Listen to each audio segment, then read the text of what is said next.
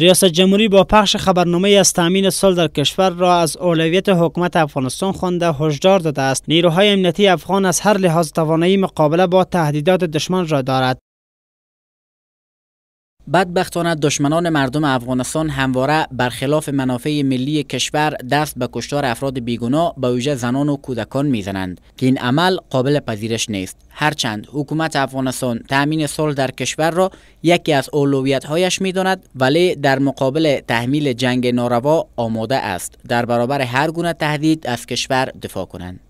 در خبرنامه همچنان از تمام عالمان دینی، اعضای جامعه مدنی و مردم عام خواسته شده برای حفظ وحدت ملی در کنار نیروهای امنیتیشان بیستند.